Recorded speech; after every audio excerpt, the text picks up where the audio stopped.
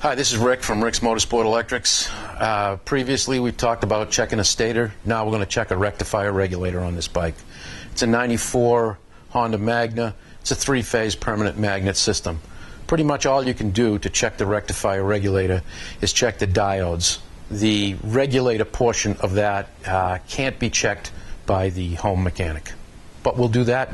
We'll check out what we can, and uh, you'll have an insight as to how the system works. Okay, before you do any electrical work on the bike, you need to make sure that you're careful of any exposed wires. Be careful you don't get shocked. Be careful of any of the pipes that might still be hot. And be careful that there's no fuel leaks. The other thing you want to make sure you do before you attempt any kind of repair work is dig out that manual, get in there, read it, know what you're doing before you get the tools going. Okay? Let's go. Okay, the first thing we're going to do is, is to check to see if the motorcycle is actually charging. As you can see right here, this is a battery at rest. Anywhere from 12.5 to 12.7, 12.8 is a battery at rest. I'm going to start the bike up, and you're going to see what happens when the motorcycle is charging.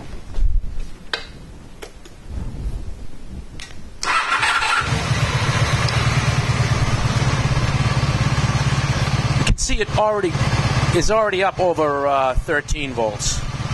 I'm going to raise the RPM a little bit.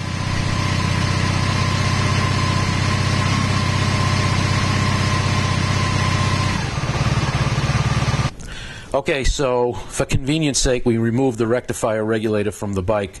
You don't have to do that. We just did that for this uh, video.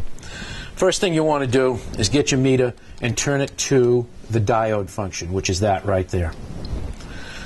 All right, you don't have to worry about what the meter reads. You kind of this has a diode tone function.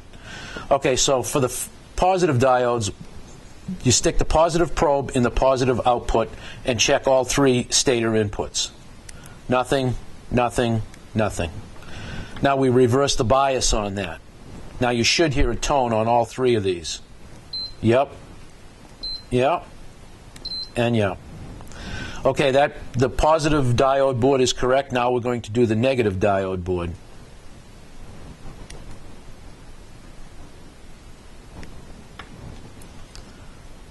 Nothing, nothing, nothing. Reverse bias.